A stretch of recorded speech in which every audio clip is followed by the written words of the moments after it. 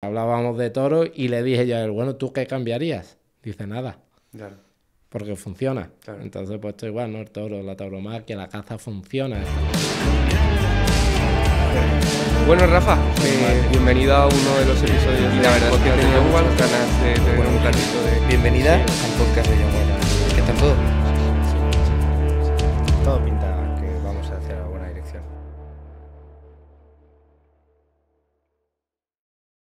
Buenas tardes chicos, ¿cómo estáis? De nuevo otro podcast junto al fuego. Ya sabéis, aquí todo el equipo de Hunters comprometidos semana a semana para traeros lo mejor del campo, de la caza, de la conservación. Y bueno, pues eh, en la línea de seguir trayendo pues, invitados especiales y que nos puedan aportar valor, hoy pues vamos a vincular eh, el mundo de la caza con el mundo de la tauromaquia. Y pues para eso hemos traído pues, el mejor invitado que podríamos tener. Y tengo el placer de presentaros pues, a Manuel Escribano, torero. ¿Qué tal, Manuel? ¿Qué tal? Muy buena.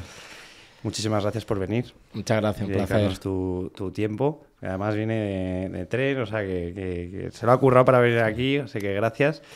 Y bueno, pues eh, al final Manuel está pues más que vinculado, yo creo, que el mundo del campo. Está todo el día aquí para allá. Y al final, pues, pues hace un, un papel pues, súper importante a la hora de proteger tanto el mundo de la caza como el mundo del campo, como el mundo del toro, que es al cual se dedica. Pero antes de meternos ahí en el meollo, para la gente que no te conozca, Manuel, una pequeña presentación. Bueno, como bien dices, soy torero. Mm, Desde pequeñito me he criado en familia taurina. Mi padre es veterinario, se dedicaba al toro bravo además, operaba al toro bravo. Y yo creo que, aparte que uno tiene que nacer torero, eh, luego de ahí me viene ya toda la afición, ¿no? Porque recuerdo desde pequeño acompañar a mi padre a, ir a, verlo operar, que me encantaba. Y entonces, pues fíjate, ¿no? Entró en el mundo de, de la tauromaquia por la vía del campo, ¿no? De la ganadería, del toro, de conocer antes al toro bravo en el campo y toda su gente, fincas, ganaderías, eh, cómo se cría, cómo vive, eh, son los primeros recuerdos, ¿no? Y bueno, y ya pues mi afición y, y lo que veo, pues alrededor del toro bravo, pues eh, el toreo. Y desde, bueno, desde los nueve años, que es la primera vez que me pongo delante de un animal, de una becerra de tentadero, hasta los 14 que, que hago mi presentación en público. Y, y bueno, y ya pues hasta que llego a tomar la alternativa, cuando ya me hago matador de toros, eh, que es el paso de, de consagración a lo que tú empiezas desde niño. Eso lo hice en 2004 con 19 años para cumplir los 20 en pocos días. Y bueno, y este año pues cumplo 20 años de, de alternativa. Así que, maravilla, que, bueno, son, son muchos años ya. Oye, has hablado de que esto es algo, por supuesto, que es vocacional. ¿Tienes algún recuerdo de cuando eras pequeño, de cuando dijeses, quiero ser torero? No lo tengo, no tengo recuerdo de quiero ser torero. Yo creo que nací siendo torero, ¿no? Mira, qué Yo bonito. iba, iba mm, como te he que te dicho, acompañando a mi padre, llevaba un toro de, de juguete y un capotillo hecho por mi madre, ¿no? Y iba toreando a todos lados, toreaba con una toalla, toreaba con una servilleta, toreaba... eh, mm, veía vídeos de toros, o sea, veía la- la- las corridas en televisión. Mm, No hay un momento que, que yo dijera voy a ser torero o quiero torear. Eh, Desde Iba- niño iba toreando ya hasta que, bueno, hasta que ya eh, me podía ir, hasta que pude salir. Y mi cuerpo me permitió salir en una, en una becerra después de un matador, de, de- de un torero, de, de haber tentado, ¿no? ¿Cómo es el proceso de, de un, bueno, pues alguien que se quiere iniciar en el mundo del toro? Eh, dices que empiezas con nueve años, claro, te pones con un ternerillo.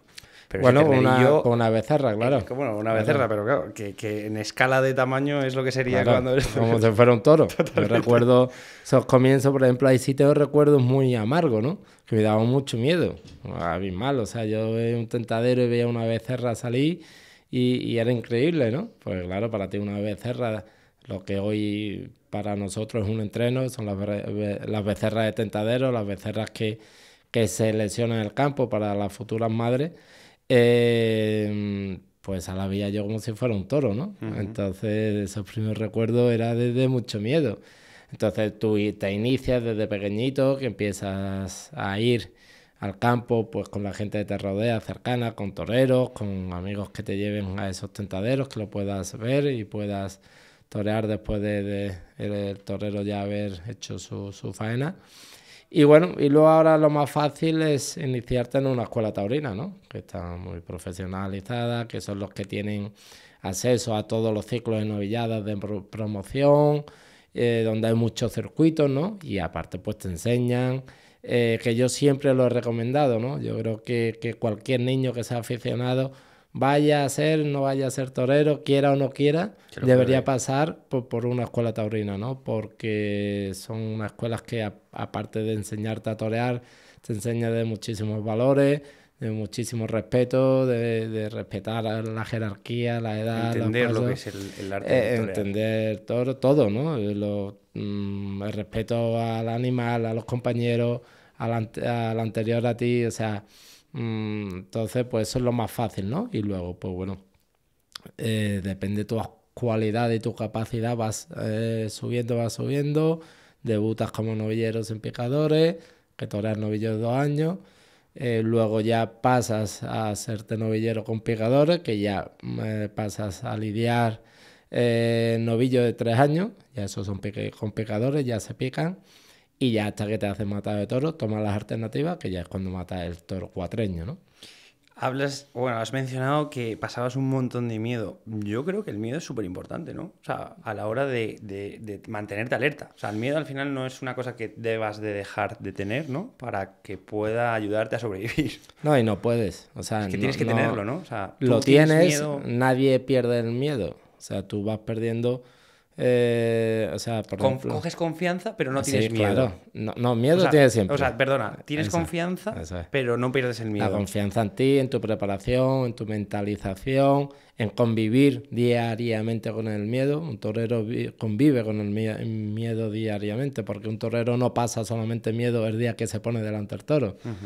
Eh, pasa miedo desde que te ves anunciado en un cartel o, en, una feria, ¿no?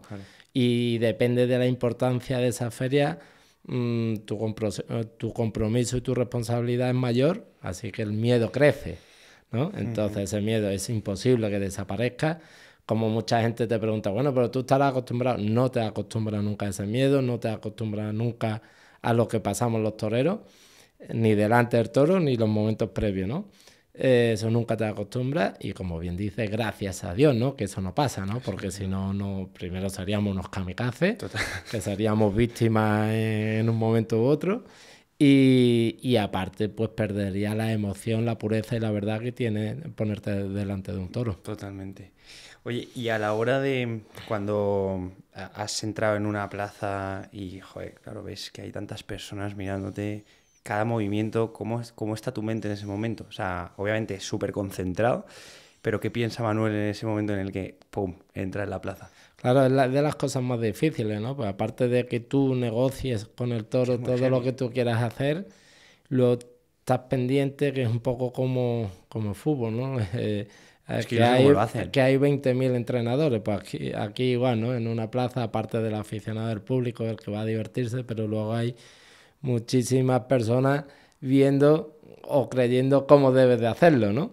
Entonces... qué, mal ha hecho esa, ese pase, ¿qué tal? Dices, tú, bájate tú, ¿sabes? Entonces eso es la gran responsabilidad que tiene un torero y lo que de verdad te tensiona y te da miedo, ¿no? Lo que hablamos, ¿no? Yo voy a un entreno al campo, voy a torear vacas, al tentadero, o, o, o toreo un toro en el campo, mato un toro en el campo para, para entrenar y no llevo la preocupación que lleva la plaza. No llevo la misma preocupación en una plaza algo menor que en una gran feria. Tampoco llevo la misma, ¿no? Y ahí es donde de verdad mm, pasamos por todo ese gran compromiso y es lo que nos responsabiliza y es lo que nos hace entrar en ese estado de estrés y de nervios, ¿no? Que es lo que gracias a tu mentalización, como he dicho, a tu preparación, a, tu concentración, a todo el trabajo que, que lleva haciendo meses antes, es cuando, cuando bueno, eres capaz de barajar toda esa situación. Y también te digo que el que tiene la capacidad de encontrarse mejor, más a gusto, está suelto, está fresco en ese momento, el, el que de verdad funciona y el que de verdad es bueno. Total. Bueno, yo que te sigo mucho en las redes sociales, eh, tu preparación es eh, impecable. O sea, creo que eres una de las personas que creo que más deporte haces y que más te cuidas. Eh, obviamente, esto lo notas en, en el, en el ruedo, pero a nivel de alimentación, de ese tipo de ejercicios, claro, son tan concretos, porque, claro, es que es como ser ágil a la hora de esquivar, de ¿Cómo es esa preparación? Tienes que ser completo, ¿no? Es un entreno muy específico, pues al final torear, que parece que es todo tan parado y tan estático, al final los movimientos claro, lo necesita todo, necesita elasticidad, fuerza, eh, movilidad, potencia, resistencia, lo necesitas todo, ¿no? Y en, y en espacios reducidos y en movimientos reducidos, además, ¿no? Porque tampoco, bueno, yo andrilleo, ¿no? Y ahí puedo, tienes más alarde de de, o sea, de movilidad, de explosividad, de, movimientos más largos, pero luego el toreo se hace en un espacio reducido. ¿Qué pasa? Que ahí se te dispara todo. O sea, todo lo que te he hablado de miedos, de estrés, de, de depresión, de emociones. La emoción te altera muchísimo. Emociones para tanto como de miedo como de felicidad o de lo que sea. Eso te, te dispara, ¿no? Eso te pone a mil, ¿no? Entonces eh, tú si estás fuerte físicamente, es lo que te permite que todo eso, mm, o sea, seas capaz de, manejarlo y de controlarlo todo eso, porque si físicamente ahí todo esto que hablamos, eso te agota, o sea, te agota. Eh, tu corazón está latiendo a, 200. es lo que te iba a decir, que la adrenalina que tienes en ese momento... A ver, es que eres un super saiyan. O sea, todo lo que te has preparado, más luego esa adrenalina adicional que tienes en el ruedo, macho, es que tiene que ser como. A ver, tienes todos los sentidos alerta al 100%. O sea, todo es como. Y eso lo haces y lo aguantas y eres capaz de estar lúcido cuando tu estado físico es bueno. Pero luego eso, el bajón es muy grande, ¿no? Porque has estado en un, en un nivel tan alto de, Claro, pero eso también los entrenas. Y lo, preparas, tú lo entrenas, preparas para eso, ¿no? Porque disparas tu corazón, todo, todo tu esfuerzo físico lo disparas ahora lo vuelves a tener templado, ahora vuelvo a dispararlo y tú entonces tienes que entrenar eso. Por eso ahora mismo yo, por ejemplo, que he tenido siempre preparador físico y tal, y ya muy especializado y muy específico en, temas de tauromaquia, ya se han preocupado de eso, ¿no? Entonces entrenan y te preparan para esos picos tan altos, ¿no? Tan altos y esas, y esas bajadas de repente, y luego hacerte funcionar a muy, a muy alta. Mm, ¿Cómo se dice? Bueno, rendimiento. eso, a muy alto rendimiento, ¿no? Eh, entonces, eh, mientras más fuerte estás, más capacidad tienes de reacción, de pensar, de que tu corazón vaya, se tiemple en los momentos que se tienen que templar y, y tu cabeza solo, solamente piensa en el toro y en lo que tú quieres hacer, ¿no? guay, macho. Bueno, Manuel, vamos a, a poner un punto y aparte al, al, toro, aunque volveremos después. Pero eh, aparte de ser torero, eres cazador. ¿Esto que, ¿Cómo es esto? Igual, ¿no? Eh, pues fíjate, empiezo casi igual. Yo no tengo recuerdo de cuando mm, dije empezar a cazar. Igual de la mano de mi padre, empezaba a acompañarlo al campo a cazar. Es verdad que empecé, empecé por la caza menor, que es lo que más bueno en mi pueblo y lo que hacía mi padre por tirada de, de, zorzales, conejos, tal. Y, y, bueno, igual, eh, en mi casa con las copetillas de plomo, eh, todo lo que hemos enredado de niño, ¿no? Y, y, no tengo conocimiento de cuándo empieza a gustarme la caza, igual, ¿no? Igual, yo creo que... Y además, igual, ¿no? Eh, a, la, a, la, paz y paralelamente del toro. Al final, como hemos hablado, o sea, el toro y la caza van vinculados por por el campo y, y, por, por, la naturaleza, y donde al final me he criado, ¿no? Entonces empiezo ahí y sí es verdad que ya cuando me voy haciendo mayor eh, voy teniendo más oportunidades y ya yo, mi padre deja de cazar ¿Ah, sí? y yo sigo, y yo ya, pues sí, por, edad un poco, por, bueno, un poco le, gusta, le encanta y tal. Pero fíjate que ahora no me acompaña. También está más pesado y más, más flojón, pero, pero. Pero siempre mm, ibais a cazar juntos. Sí, sí, claro. Hasta que él deja, un poco ya haciéndose ya más mayor, él deja y, y yo heredo sus armas, eh, todo. Y ya, ya empiezo ya a cazar yo y ya me vinculo un poco más a la caza, a la caza mayor. ¿Qué es lo que más te gusta? Bueno, la verdad no tengo que no tengo preferencia, totalmente, ¿no? Eh, es lo que digo, ¿no? Me gusta tanto que, mm, que me da igual, me da igual, lo disfruto todo, eh, lo vivo todo con mucha pasión, que creo que es algo que igual, ¿no? Que yo mucha gente, con gente que cazo, o me gusta ya cazar con gente que, que lo viva, que de verdad lo sienta, que de verdad lo ame y, sienta todo lo que, lo que pasa, ¿no? Y, o cuando yo me llevo a gente eh, gente mía, por ejemplo, hay gente en mi cuadrilla que me acompañan, que son cazadores y tal, y, y- y- yo me lo llevo intento que, que mm, meterle eso, ¿no? O sea, que, que- que lo vivan, que sientan todo lo que vivimos el campo, cada oportunidad que, que tengamos de vivir un día de caza, porque bueno, yo creo que, que debe de ser así, ¿no? Como, como somos y como vivimos nuestra vida, que al final es lo que te enseña eh, el ser torero también, ¿no? Totalmente. Me imagino que, bueno, pues siendo cazador y torero eh, y estando tan expuesto a las redes sociales, que, en- de parte mía y de los cazadores, gracias por darle voz de, a la- tanto a los toros como a la caza y, y poner en valor así el mundo rural. Pero ¿cómo es eso de encontrarte tantas críticas y luchar día a día con asesino, matador, es que no tienes corazón? Porque tienes que estar también preparado mentalmente a eso, ¿no? Sí, totalmente. A mí me da igual, ¿no? Porque... mm, Y además, no... O sea, me da igual, no. O sea, no me, no, no me afecta que, que algún insulto que puedan hacerme. Primero porque de quien viene esos insultos es de una parte de la sociedad que no aporta nada a, nuestra, a, a nuestro bienestar, ni a nuestra sociedad, ni a nada. No te enseñan nada, no hay valores ninguno, no hay respeto ninguno. Es insultar por Entonces, insultar. Claro, ese tipo de personas no, o sea, no, eh, no, no hay nada que, que objetar hacia ellos porque no, no, no, no le vas a perder ni un mínimo de tiempo a, a- a- a tal. Pero sí es verdad que, mm, que lo defiendo. Entonces cuando hay cosas de esas no, no, no, no, no tengo temor ninguno a mostrarlo públicamente, a defenderlo, porque al final estamos dentro de la legalidad, estamos dentro de, de unas acciones culturales como es el toro y en, este caso la caza, algo Es que es histórico. ambiental, histórico, nuestro, de nuestro patrimonio y tal, que, y además controlado. ¿No? Y, y- y- y- y funciona, ¿no? Como una vez con, cuando hice eh, un, un, eh, programa con Fran de la Jungla, ¿no? Sí. Que, que hablábamos de toros y le dije yo a él, bueno, ¿tú qué cambiarías? Dice nada, Claro. porque funciona. Claro. Entonces, pues esto igual, ¿no? El toro, la tauromaquia, la caza funciona, está controlada, o sea, se, se ve que la especie cine- cinegética cada vez hay más, más, ¿no?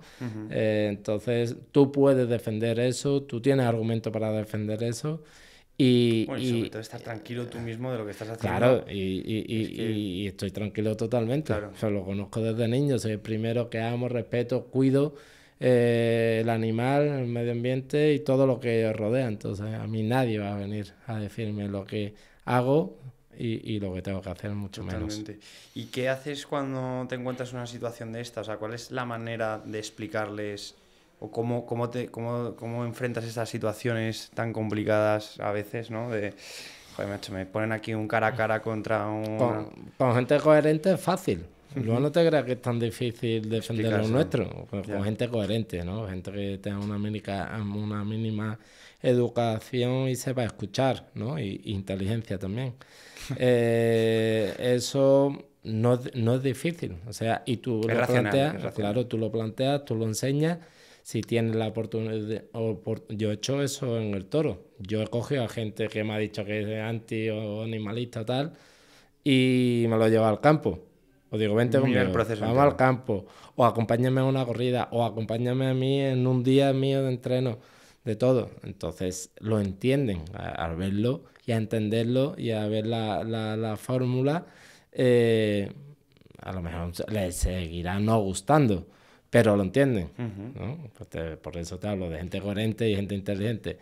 Entonces no, no es tan difícil defender y al final explicamos, eh, tienes que explicar y preocuparte por, por hacer entender lo que significa, lo que es, eh, cómo se hace, ¿no? Sobre todo cómo se hace, ¿no? Igual, ¿no? Cómo se cuida la caza, cómo se cuida el toro, eh, cómo se cuida sus medio ambiente, como todo eso, ¿no? Cómo, eh, cómo amamos nosotros a ese animal, cómo respetamos, cómo cuidamos. Todo eso sí debe de, de- de- debe de enseñarlo y luego enseñar eh, los por qué, ¿no? Ahí, ahí yo creo que, es la mejor manera de defender, ¿no? Porque aunque sé que estarás aburridísimo de, explicarlo, pero creo que hay que aprovechar este tipo de, oportunidades para que la gente lo pueda entender, aunque esto sea un, sector que es caza y que están ligados totalmente y que probablemente mucha gente lo entienda. Pero oye, hay gente a lo mejor que está escuchando esto y le, le va a chirriar el decir, ¿cómo me puedes decir que amas a los toros? ¿no? Como nos pueden decir, y luego los matas. Entonces ¿De dónde parte esa, ese amor por el toro? ¿no? Vamos, a, vamos a entrar en detalle en, joder, oye, hay, hay una conexión entre el, torero y el toro. Entonces, por favor, explícaselo para que ellos entiendan cuál es ese amor del que hablas. Mira, yo, eh, ahora que lo dices, yo, mira, yo una de las cosas, primero porque hago estas cosas también, aparte de soy aficionado a la caza y, me dedico al toro, eh, hay una parte importante que era tanto que la caza se conozca mucho más eh, a nivel taurino y el toro a nivel de caza, pues muchos cazadores no entienden nada ni saben nada del toro, igual. Y mucha gente del toro que no conocen nada de caza, incluso me han llegado que entienden ser torero tal, pero la caza no, ¿no? Entonces esa es un poco mi, mi intención, un poco eh, lo que intento cada vez que, que, oye, gracias a nuestro posicionamiento, pues pueda yo exponer todo esto, ¿no? Y acercar la caza al toro y, y, y el toro a la caza, ¿no? Entonces... Em, ¿De dónde viene el amor? Primero tú eres torero, yo ya te cuento. O sea, yo mm, los primeros recuerdos es con el toro, el animal. O sea, en el campo. Eh, yo si fuera... Polvareda, muchas pezuñas por ahí. Y luego como lo viví eh, como, con mi padre, que es veterinario, pues imagínate. Más era, tocarlo, palparlo. Yo recuerdo que era espectacular, pues te entraba en un cerrado, le pegas un tiro con un, un rifle anestésico, ese toro cayendo operarlo de una cornada de otro toro, los toros cercanos queriéndose aproximar, la gente del campo protegiéndonos, eh, todo, ¿no? Entonces, mm, yo también digo, yo si fuera, me dijeran ser un animal, elegiría ser toro bravo, ¿no? Por todo lo que significa la fuerza que tiene un toro, la bravura, la raza. Eh, la fuerza, el pelear, muriendo pelean, naciendo pelean, eh, es un toro, es un animal increíble, ¿no? Con, con una adaptación a todo eh, fuera de lo normal. Y, y, luego, pues nuestro amor viene por el respeto, ¿no? O sea, nosotros eh, nunca, o sea, ¿qué te digo yo? Igual que en la caza, o sea, tú nunca pegas, tienes una mala acción, ¿no? O sea, no tienes no abate un, animal de, mala manera. Yo siempre explico que se te cruza un conejo en la carretera y lo esquiva con el coche, ¿no? No vaya a atropellarlo, voy a pisar a veces, ¿no?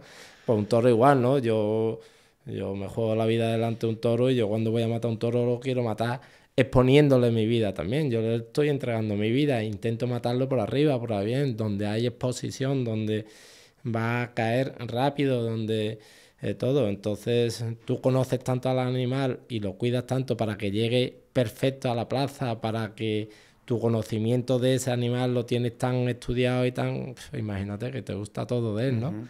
Y luego, oye, pues le da la, la, opción a un animal pasar a la historia por, por muchas cosas, ¿no? por, lo bravo que ha sido, porque yo qué sé, le ha pegado una con un tío porque le han perdonado la vida, porque fue un toro excepcional, porque no sé, porque ha sido un cemental mítico en una ganadería y, eso no lo esa, esa, esa opción no la tiene otro animal, ¿no? Y luego encima entrega su, su vida delante de 20.000, mm, veintitantas mil personas en un, en un, en un, ruedo. en un ruedo, más la que lo ven por la tele, ¿no? O sea, está exponiendo su vida, dando su vida y, y, y la está dando peleando, ¿no? Hasta, hasta el último segundo, ¿no? Entonces, oye, yo creo que una muerte magnífica, un final de su vida que es pletórica, que llena en campo, en libertad, sin que nadie lo moleste. Todo hasta que llega a ese punto, como vive. Claro, pues vive como Dios, vive como Dios, vive con todos los cuidos, con todas las comidas, con todo, todo perfecto. Cercados grandísimos para ellos, sin que nadie lo moleste, nadie lo toca que eso hay mucho, mucho bulo, ¿no? Y muchas de estas leyendas urbanas de que al toro se le hace que si los ojos, que si no sé ¿no? ¿no? sé, barbaridades. Y, y a un toro no se le toca. O sea, Es que el es toro es que- bravo por naturaleza, Claro, no porque se claro, le no porque pique. se le pique, claro. claro, claro. Pero cuando ya pisa su terreno y se ven, se ven acometidos es cuando empiezan a defenderse, ¿no?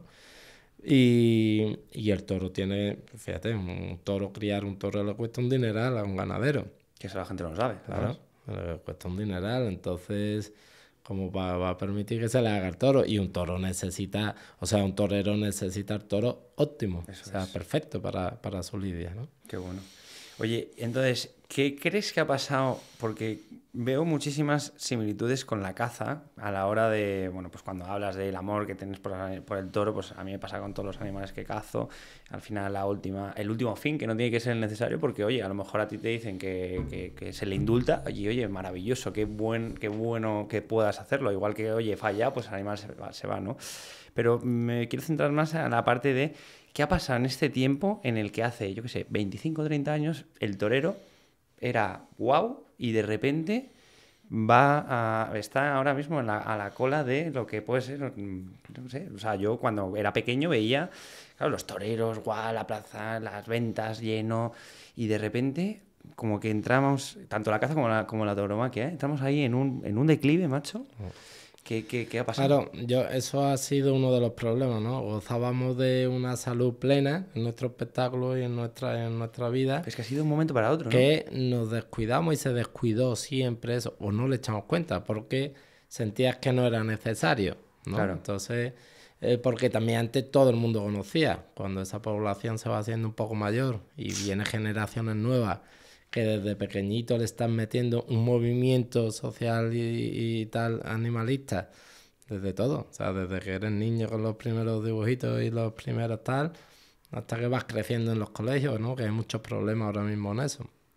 Entonces, o sea, esa gente que antes te cono- conocían todo, sabían todo el toro, tal, se van haciendo mayores, se van desconectando, vienen las nuevas generaciones Y no ahí es, no entiende, y ahí es donde nos faltaba Esa comunicación para esa gente, no a los taurinos, no a los cazadores, sino toda esa gente imparcial, que tampoco son destructores, pues el destructor o al anti-anti tal, ese no lo vas a convencer de nada, pero siempre he dicho que nuestra preocupación debería ser esa gente imparcial, ¿no? Tanto de la caza como del toro, Eh, que es al que tú le tienes que dar a conocer, pues cómo vive el animal, como tal, todo lo que hemos hablado, para que ellos tomen su determinación y saber si lo entienden o no entienden, lo respetan o no, y ya que les guste o lo practiquen, ya es otra historia, ¿no?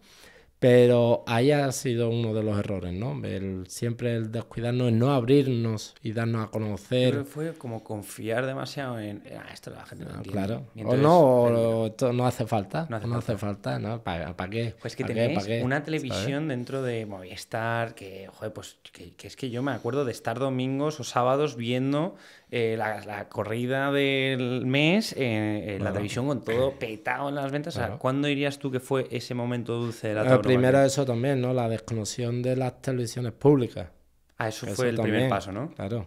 Que hay en movimientos Pero- políticos, que esos son movimientos Ya. políticos, no hay otra historia. O sea, y movimientos políticos a favor de, de no de, de una ideología, pero de una ideología para votos. O sea, no para el bienestar de, de los votantes, ni mucho menos. Solamente para el bienestar De ciertos votantes y de ellos, que son los que van a recibir esos votos y ese, y ese Sí, mando ¿no? de Ellos lo poder. Ponen, lo ponen en una balanza. Claro. Dicen, esto es una industria Claro. pequeñita, me la cargo y gano todo. Y sobre todo ciertos políticos, o sea, cierta parte de, de política que eso ha sido una cosa que, que se ha utilizado, o sea, hemos sido, par- hemos sido víctimas de, de la utilización de nuestro mundo para, para hacer política, ¿no? Cuando el toro, siempre igual, ¿eh? claro, y cuando el toro, eh, igual que la caza, No, no, nunca son políticos, o sea, no es- nunca han, han tenido color político, o sea, la caza, el toro es del pueblo, o sea, y no hay una cosa más, más democrática que, que eso, porque es que lo practica todo el mundo.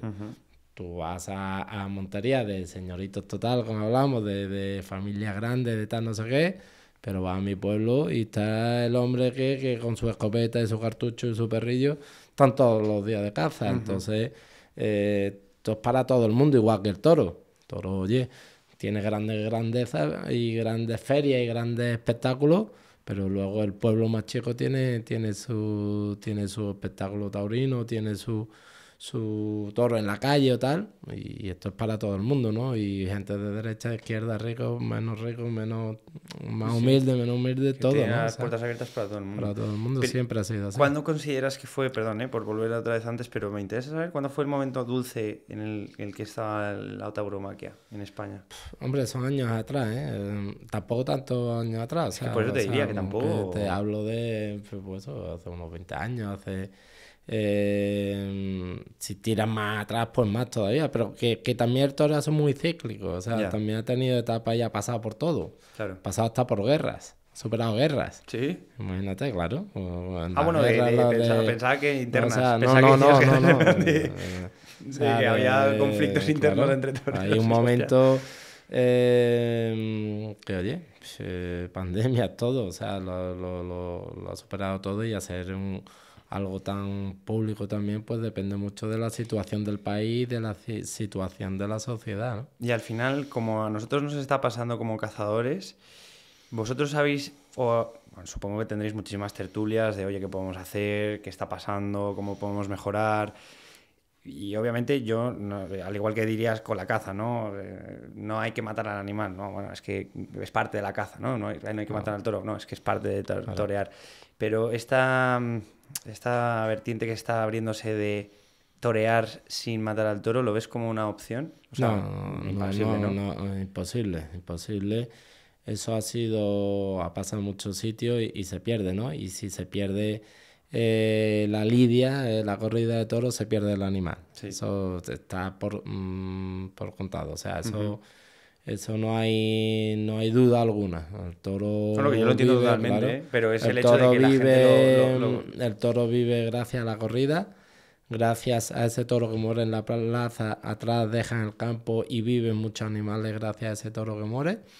Y, y esa es la cadena, ¿no? Por eso te digo que es eh, es súper importante, no el fin, o sea, eh, El no, no, no, no es todo el mundo conocer fin, que es la muerte del toro en la plaza o, o en la caza, el lanza el tiro y matas al animal, no, eso es el fin de ese animal por el cual está ahí, para lo que está ahí, para lo que está ahí y gracias a eso pues se mantiene esa raza, esa especie y todo lo que ello conlleva, que es trabajadores, gente, familia, ganadería, eh, todo, ¿no? Economía, eh, medio ambiente, ecología, todo, ¿no? Entonces, eh, eso es un poco lo que también eh, se está haciendo ahora, tanto dar a conocer cómo vive el toro, también a conocernos nosotros, mostrar de qué forma vivimos los toreros, cómo somos los toreros, qué hace un torero, qué siente un torero, eh, cómo se cría el toro, tal, todo eso, ¿no? Eso es lo que ahora mismo, gracias a las redes, gracias a todos los programas que tenemos, gra- mm, se pueden hacer muchas cosas y sobre todo dar el conocimiento a la gente que conozcan todo para que luego decidan, ¿no? Y, y- y sobre todo decidan y prueben si les gusta o no les gusta lo que, lo, lo que, lo que es el toreo o la caza. ¿Qué es la preocupación más grande que tenéis ahora mismo dentro del sector? Obviamente es que se pueda... Pero es que yo creo que no concebís que se vaya a acabar. No, no, no se acaba, es que no posible. acaba. Al final todavía muchísimas. O sea, y ponte que el toreo es el segundo espectáculo de masa después del fútbol, que mueve más gente y va más gente a, a verlo a, un- a un- a un- a una plaza de toros o en la calle. Eh, entonces, de eso tiene salud todavía, ¿no? Yo me- siempre me he preocupado más del ataque político, ¿Vale? que ahí es donde muchas veces nos trincan y no se puede hacer nada. O sea, mm, yo sé, ahora que ha salido el, lo del de ministro este, no, Ah. lo del ministro que ha quitado el Premio Nacional de Tauromaquia, porque al tío, mal, dado le la sale de los cojones. Ya. O sea, cuando es un ministro de ¿y eso cultura, ¿quién lo, quién, lo, quién lo aprueba? Él. él, Él y su él corbata. y, él y su, y su cuadrilla. Entonces, que eso, oye, pues nos toca pelear, pelearlo. Ahora, sí es verdad que tenemos estamentos como la Fundación Arturo Lidia, como muchos también, muchos políticos que, que están a favor, y, y- y ya no es a favor, ya es a favor de todos, ¿no? De, de- de algo Todo lo que mueve. patrimonial, algo cultural nuestro y algo que, que debe- debemos de defender, ¿no? Pero no por la afición ni porque le gusta a quien no le gusta, sino porque es algo nuestro, es una identidad nuestra. Entonces, Eh, esas cosas es lo que más le temo yo, ¿no? Esos movimientos políticos son que muchas veces cuando quieran y hay poco que hacer. Porque luego el animalismo, eh, al final mm, llega a un punto de. Bueno, es que lo hablábamos, de- que de- estamos llegando ya a claro, a un punto de absurdez que, que no puede llegar más, ¿no? Entonces eso Es que humanizar tiene, a los animales. claro, creo que tiene su el- efecto rebote que yo creo que cuando ya no se toca el suelo de lo más in- eh, absurdo que hay, pues, pues vuelve a subir, ¿no? Y, y, y, y todo aquel que tenga un mínimo mm, punto de coherencia, como he dicho antes, al final ve y, y- y ve cómo vive el toro o cualquier animal cinegético y, y- lo debe de entender, ¿no? Cuando yo, yo, mm, que estamos todo el día de aquí para allá, digo, hay una cosa que no me gusta y pues eso, que vamos a, a un montón de sitios por España y pues en verano, ¿no? Que, que hay un montón de, de corridas por toda España y demás. Claro, a mí lo que me, me fastidia, ¿no? Un poco de, de España o de, de- los españoles es que cuando me conviene sí y cuando no me conviene no. No. Es decir, estoy aburrido en el pueblo, mm, son las fiestas, ostras, la corrida, qué guay, tal, guau, cómo lo he pasado. ¿Se acaba? Que ver, tal. ¿Sabes? Como que siempre es, eh, me interesa, voy, lo juego la comentadita tal, pero luego, bueno, ya que, se, que esta gente se defienda por ellos mismos y ya está. Macho, no puedes hacer eso, ¿no? Es un poco hipócrita el hecho Bueno, de... lo, lo que sí es verdad que lo hemos hablado antes, te tienes que adaptar un poco a todo. Yo eso también lo digo mucho y cada vez que tengo oportunidad de hablar entre nosotros, entre los compañeros y tal, eh, al final esto, quiera o no, también es una industria, ¿no? Como hablaba Jordan en su último documental, la industria del baloncesto, pues esto igual es una industria, al final es un espectáculo que tú tienes que tirar de masa, tienes que tirar de gente y cuando tú tiras de gente y, y depende de un espectáculo, tienes que dar ese espectáculo. Entonces, ¿qué pasa? ¿Cómo lo vas a dar? Que eso era otro de los problemas que yo creo que ha tenido la tauromaquia. La caza no tanto. Es que siempre hemos estado atrás, atrás para los antiguos, los antiguos. ¿eh? Y no, porque siempre el torero ha sido tal, o los toros, tal, o es que antiguamente ya hay que dar ese paso, ya hay que estar modernizado, y hay que estar y correr con los tiempos que, que van de la mano ahora y tenemos que utilizar todo lo que tengamos a la mano para adaptarnos a una no- nueva sociedad totalmente, ¿no? Esto avanza, igual que evoluciona ¿Qué- todo, ¿no? ¿Qué, qué habéis pensado? Entonces, eso te digo, o sea, eh, Si se puede saber. A lo mejor no, es- es- no sé, o sorpresa. sea, hay muchas cosas, pero bueno, tú al final, por ejemplo, el tema de los jóvenes. Eh, No, es que los jóvenes no, cada vez van más jóvenes y si tú le das opciones Incentivos o cosas y que- sobre todo opciones, o sea, que un que cualquier joven pueda ir a los toros, que a veces pues puede costar caro una, una entrada a los toros, cualquier eh, joven no se lo puede permitir, pero que tampoco es tan caro, que un partido de fútbol cualquiera o cualquier concierto que lo vea y tal. Pero bueno, como, como el espectáculo, como la corrida tampoco está garantizada, o sea, nadie te puede garantizar que, que va a hacer la mejor corrida del mundo, porque oye, es un animal, Es un torero, el viento, o sea, hay muchas cosas que son impredecibles. Eh, pero ese espectáculo tiene que ser. O sea, nos tenemos mucho que preocupar en el espectáculo. ¿Cómo? Pues no, o sea, hay mil formas. Hay mil formas. Se criticó en las ventas que después de, de las corridas se montaba como una discoteca eh, dentro del recinto de las ventas. Oye, que sí, que es un monumento, pero bueno, ellos vamos a adaptarnos. Tampoco pasa nada. No pasa pero nada. que- montan que- que- jaleos en todos lados. Claro, y luego vienen 20.000 chavales de esos 20.000, algunos se quedan. Y sobre todo porque hablan, Y, conocen, claro, hablan entre les ellos. da la oportunidad eso, de, de- de- de conocer, de ver, de tal. Y, y eso al final, como los en fiestas, pues oye, que es divertido, que hay tal, que hay una pachanga, que Pues comes, que bebes, una mini verbena, que ¿eh? tal, pues, No pues, encantado. ¿Y, Son y lo, cosas criti- que lo criticaron? Ahí los típicos puristas de siempre y tal, no sé qué, siempre han criticado eso, ¿no? Y que hace- ya lo sé, que es un templo, todo lo que quieras claro. más, pero oye, pero es que ti- tienes que preocupar a las nuevas generaciones. Totalmente. Dame una solución. Si no preguntarle a esa gente, claro. muy, bien, muy bien, perfecto, pero dame una solución. Una solución es hablarle de, yo qué sé, de los años no sé cuántos, cuando Belmonte y tal. Ya. Pues eso al ¿Lo, vas, final- lo vas a hacer tú? Claro, No, y, te no- digo, y claro, cuesta no mucho que enganche, Que sí, que no es así, que no es la forma Claro, de, atraer a las nuevas generaciones. Yo siempre lo digo cuando te preguntan por Pamplona. Yo digo, yo me encantaría que hubiera un 40 Pamplona. Bueno, es que cuánta gente ¿Eh? impactas ahí con... Eso No, es que eso es una falta de respeto, está que la gente esté bailando, pero si es que te da igual. O sea, si, si, si hay mucha gente que de los que están allí que a lo mejor ni le gusta, pero que están. Y, el Pero eso es lo que espectáculo va ¿sabes? Que, que como situaciones como de Pamplona San Fermines, ¿cuánta gente va? Es una barbaridad. Una- Y, y al final, lo que es lo que mola, la, la- el, o sea, la- cuando van los toros corriendo. El las- encierro. la- el encierro. Cuando es el encierro y ya encima los, los toreros empiezan a torear. Coño, ¿cuánta gente? Es que de verdad, es que no, no, no, no voy a decir un número porque me lo estaría inventando, pero muchísima gente, además internacionalmente. O sea, San Fermín es conocido internacionalmente. Pues, joder, esa gente luego termina eso y si te he visto ni me acuerdo, ¿sabes? Y luego, Pero muchos se quedan.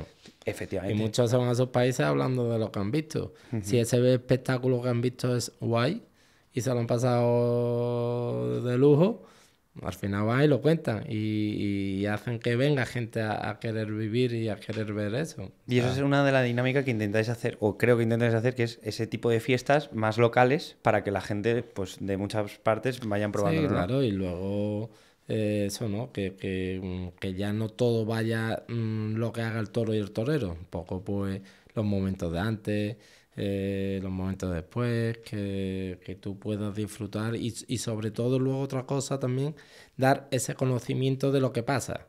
Tú vas a un partido y cualquiera sabe lo que es un fuera juego, lo que es un, un, yo qué sé, quién juega, quién son los nombres Bueno, es que he de, flipado. todo. Yo cuando que he ido un par de veces, o sea, no, no, no, no puedo decir que soy taurino porque ah, no tengo ni idea. Entonces yo creo, considero que un taurino es el que tiene un mínimo de conocimiento, ¿no? Pero sí que he ido alguna vez con alguien que es un apasionado y está ahí en plan con la libreta tal y diciendo, mira, están metido en el semicírculo, eso significa que tal, no sé qué. O sea, yo, que tiene sus reglas, Claro, sus normas y su, eso es. Hay su mucho- puntuación, ¿no? De tú vas, tú vas a los toros y, y yo qué sé, a mí me preguntan muchísima gente cómo lleváis los caballos de picar. ¿Qué es, qué es eso? ¿Cómo No, llevas o los sea, como yo- tú no llevas caballos de picar ninguno, eso hay una cuadra de caballos que se dedica a tener caballos de picar que van con sus cuadras y son contratadas como por cada plaza de toros, ¿no? Vale. Entonces, una, algo tan simple es una de las cosas que más te preguntan, por ejemplo, ¿no? Entonces, a partir de ahí, imagínate lo que te pueden preguntar.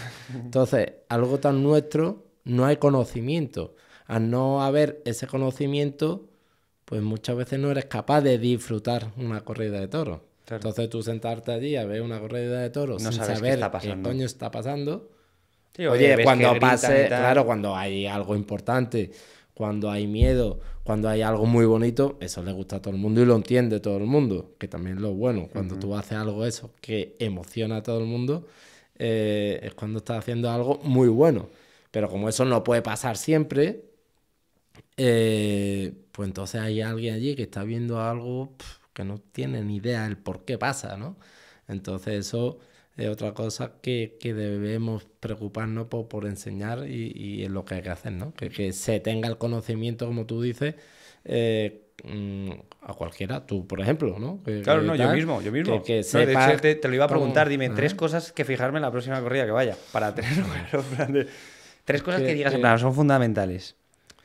Hombre, más o menos, o sea, primero conocer quién torea, Bien, eso es es importante. fundamental. Vale, Conocer qué ganadería es también. vale. Y a partir de ahí, pues intentar. No, pero más dentro del ruedo. O sea, dentro del ruedo, ¿cuál es la técnica? O sea, sé que o sea, es, es, eh, cansar un poco al toro porque va con la cabeza levantada, entonces hay Bueno, que intentar no, bajar. cansado no, tiene, pues eso, son, eso es, cor- o sea, eso es dentro de la lidia. No me critiquéis que no tengo ni idea. ¿eh? no, Los no, que o gente sea- que, sois, que sois toreros o te- que les gusta tauromaquia, es no dominar. ¿no? Tú tienes que mandar y dominar la embestida y enseñar. Cansar nunca, pues si tú lo agotas a un toro, que puedes agotarlo novato. por. No agotarlo, puedes acabarlo por mal planteamiento de una faena. Vale. ya es un error tuyo, ¿no? Y perdería los triunfos, perdería el triunfo, ¿no? Eh, pero sí tienes que enseñar, dominar y mandar en, en la embestida del toro. Eh, ¿Qué te digo? ¿Te fijaría? Pues te deberías fijar en la colocación del torero, en la firmeza del torero, que es cuando... es muy, muy personal, ¿no? O sea, Sí, el estilo de... Porque hay muchos que Claro, o sea, bueno, buscas tener tu claro. estilo de... Sí, sí, está claro, cada uno tiene su personalidad y su forma. Pues eso, lo tienes tú que buscar y tú a partir de ahí saber quién te gusta y quién no. Habrá gente que le guste un torero, otro que le guste yo, otro que le guste mm, quien sea. Hay gente que le gusta un tipo de ganadería, hay otros que le gustan otras. Ahí es el gran abanico que tiene el toreo que, que hay para todos los gustos. Claro. ¿no? ¿Consideras que son muy críticas la gente? Deben ser críticas. O sea, de, Más, más os, Sí, os motivan, ¿no? ser, es algo que... Y mientras mejor eres o mejor lo haces, más crítica tienes, ¿no? Entonces, eh, siempre que crece la crítica, la crítica hacia ti, es porque tú vas subiendo y tú vas creciendo, ¿no? Claro. Eh, eh, bueno, me está encantando, Manuel. Oye, eh, vienes desde de, de Sevilla, de estar ahí, que han pasado cosas, que ha pasado por ahí, macho. Bueno, vengo de una feria de Sevilla que ha sido súper importante para mí. De una tarde, yo creo, la más emocionante que he podido vivir en una plaza de toros. De las cosas más bonitas. Fíjate que yo en llenazo, Sevilla. ¿no? Era un sí, era un llenazo llenazo a tope. Era del car- del cartel ese de máxima expectación. Era Barbaridad. Toreaba Roca Rey, máxima figura del toreo. Toreaba Borja Jiménez, toreo relevante que salió el año pasado y que han interrumpido en esto bestial. Y estaba yo, ¿no? Un torero de Sevilla. Eres cuadro. Eh, éramos tres, Roca Ah, Rey, tres. Borja Jiménez y yo. Pues en las corridas son de tres. Son seis toros, tres toreros. Ya, Y- perdón, perdón, sigo siendo igual de novato, perdón. Te he aprendido. ¿no? Y, y entonces, máxima expectación con la co- corrida de toros de Victorino Martín. Y bueno, eh, de ese cartel de máxima rival- rivalidad, eh, de que la gente va a ver los toreros, que va a ver a los toros, a la ganadería. Y bueno, y yo en mi primer toro, yo soy el torero más antiguo en ese caso, iba primero, el primer toro me voy a Puerta de Ayola, recibirlo en la Puerta de los Chequeros de rodillas. Y... ¿Por qué, qué, qué piensas en ese momento, tío? Bueno, eso está dentro de mi tauromaquia, es algo que Eso me es cuando los tienes inflados y enormes y dices, me los pongo aquí alrededor de mi cuello y que Y- venga, y ¿no? que pase, lo, que pase por donde quiera. Son, demostraciones de, de, bueno, de lo que tú quieres. También debe de entrar dentro de tu tauromaquia. Yo lo hago porque lo siento, me gusta y ¿Qué pasa por tu mente en ese momento, por saberlo? Pasan muchas, ¿eh? Pasan muchas, la verdad, pasan muchas, pero es lo que De- hablamos. va a ir por la derecha, va a ir por la izquierda, Claro, va ahí a ir de tienes, frente. por eso te digo, cuando tú, a mí mucha gente me pregunta en esa suerte, y yo, ¿y tú qué piensas? Y tú dices, pero si eso eh, no vale para nada, o eso, o sea, y yo siempre digo, yo a esa suerte, o sea, irme a Puerta de Yola nunca me voy obligado. O sea, me voy cuando me da la gana y porque quiero. Porque como vayas... has visto tú, ¿no? Claro, Dices, como... me ha claro, dado el- Vamos, el y hoy brote. es un día grande, un día de competencia, un día que por quiero por todo. Y como yo muchas veces digo en la furgoneta, digo, hasta donde llegue el tío. Hasta donde llegue el tío es que vamos a exponer, a exponer y a arriesgar. A tope. Oye, y si sale bien, sale bien. Y si en el segundo capotazo, como pasó ese día, o en el tercer capotazo, te coge un toro y te hiere, pues mala suerte, ¿no? Entonces, eh, cuando eso, cuando tú te vas a una suerte como esa, tienes que ir totalmente lúcido. O sea, tienes que ir perfectamente.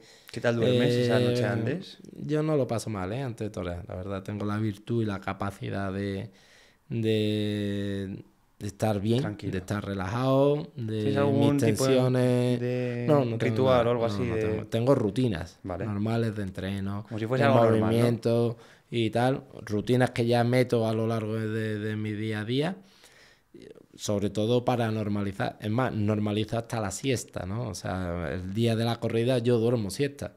Y duermo. Hay veces, ¿verdad?, que duerme 10 minutos, otras que duerme 40 y otras una hora. Pero duermo la siesta y me meto la siesta, ¿no? Por ejemplo, entonces eso está dentro de una rutina. Bueno, mucha gente, yo, ¿y duermes? Pues sí, pues duermo. La verdad que duermo.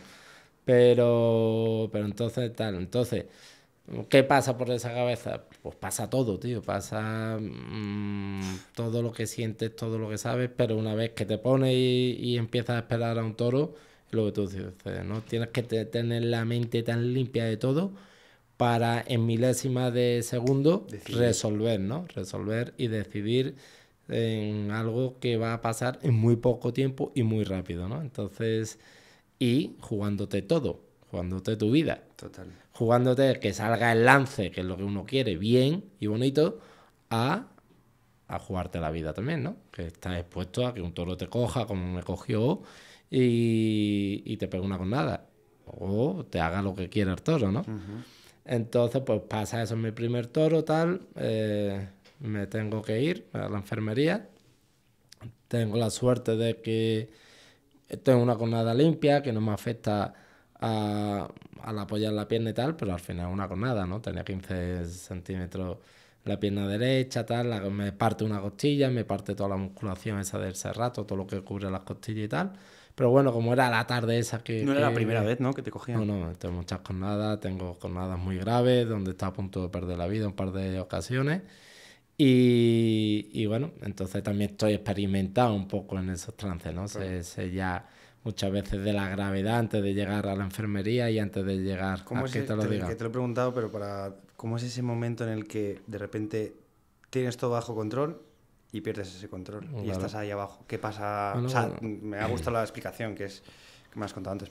O sea, yo- cuando pierdes el control, debes intentar no perderlo nunca, ¿no? Porque son sensaciones que es muy difícil explicar, ¿no? No sabes lo que es tener un animal encima tuya buscándote con esos peitones tan Además afilados, tan finos. el bufido, Escuchas bufido, la, el- la fuerza. todo el mundo gritando, eh, "Guau", eh, la fuerza con ser- la que te empuja un toro es increíble.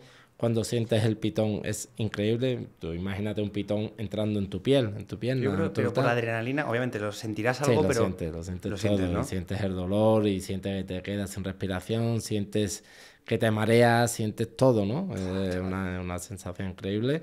Es como un tío apuntándote en la Sí, sí, en la cabeza, con una pistola, Sí, ¿no? sí, o con una- un rifle. Entonces, Puede ser ahora. eh, estás estás expuesto, ¿no? Yo ese día sentí el pitón aquí en mi costado, ¿no?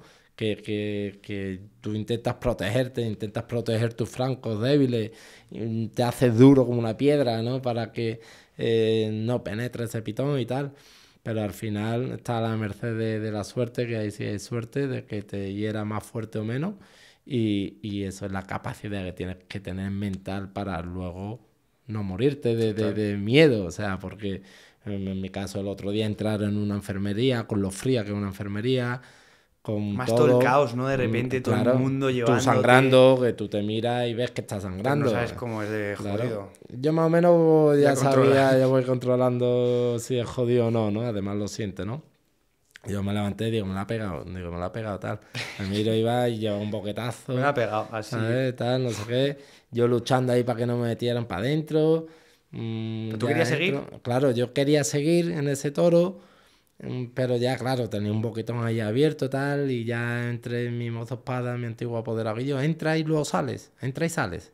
Venga, tal. Entonces entro en la enfermería, una pelea con los médicos para que no me anestesiaran, anestesiaran eh, general, sino que me anestesiaran local, para, para operarme. Me operaron, me recuperaron, tal, no sé qué, y volví a salir, ¿no? En el sexto toro, o sea. Los, los que eh, tenía ahí cuando se había puesto de rodillas los recuperó y los hizo más grandes, ¿sabes? Totalmente. Además volví al mismo sitio donde me habían herido y por eso te digo... ¿Cambiaron fue- el toro? Maté mi segundo toro. Ujú. Eso me, me coge mi primer toro y, y, y mato mi segundo toro, que es el que, el que me quedaba adentro. ¿Y ese toro qué le, qué le pasa? O sea, se vuelve y lo deja... No, no, es mi, el primer toro que me coge, el, el siguiente matador es el que, es el que que le lo, toca. lo torea. Vale. Y ya se quedaría en mano a mano y mi toro lo lidiaría también el, el otro torero. Entonces yo salgo, yo pido a mis compañeros a través de mi cuadrilla que corran el turno, o sea, que me dejen a mí al final y que ellos vayan lidiando, lo aceptan, Qué bueno. cosa a agradecer, y, y salgo a matar mi segundo toro en sexto lugar, Claro. para que me diera tiempo a operar, Bueno, a medio A ver establecerme. cómo estás, porque es que... Claro. A ver si puede, si no puede. ¿Y qué tal y bueno, y, luego, pues ¿Estabas jodido? imagínate. Sí, pero ahí sí que era un estado Estabas increíble. aquí, ¿no? no he estado aquí, ¿no? nunca en un estado como el del otro día, en una plaza, porque era una plaza cuando te ves salir. Yo salí con unos pantalones vaqueros que llevábamos, pues el traje estaba reventado, eh, sin la chaquetilla, tal, no sé qué. Pues era como salir, ¿no? Como la típica película que renace el tío, tal. Y la gente se caía. O sea, Se yo no he visto. Sevilla igual, gritándome torero, torero, la gente en pie, la música sonando. Entonces ahí ya era un subidón que, que era increíble. Yo ya te digo, no, no me he encontrado nunca en ese estado de éxtasis en, en mi vida, ¿no? Total.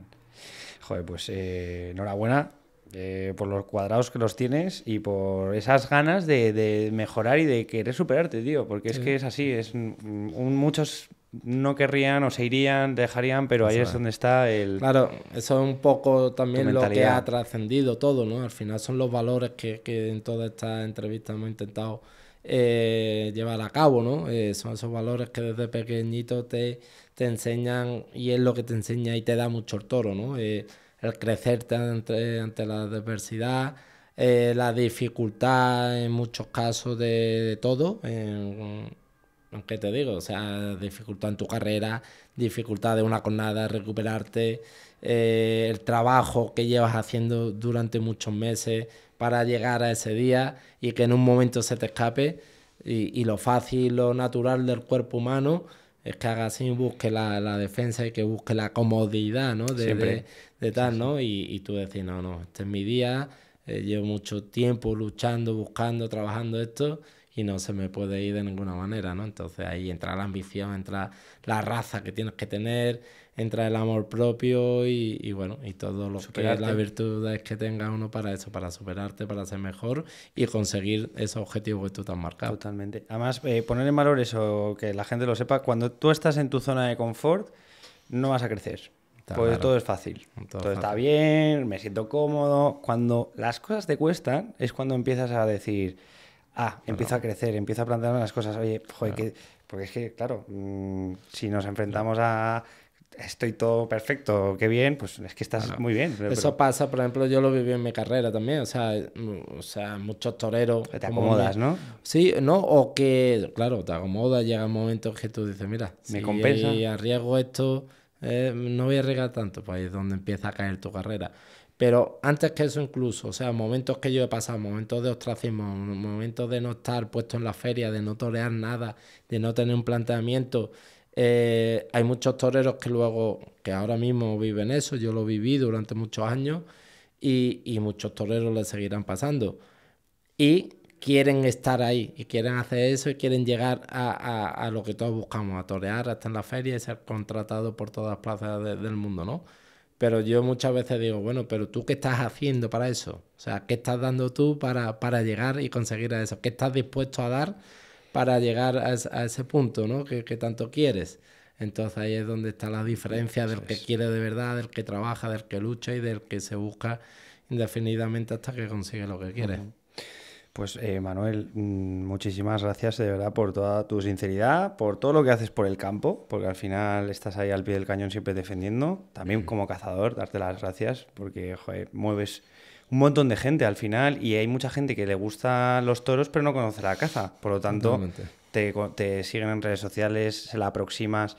Y bueno, de parte de John Walhantes decirte que aquí nos tienes, ya lo sabes, para lo que necesites a nivel de comunicación, porque como hemos hablado en este podcast, creo que es la ventanita para que empiece a entrar mucha más gente joven que lo empiece a entender y bueno, pues que aquí tienes tu casa eh, para lo que quieras.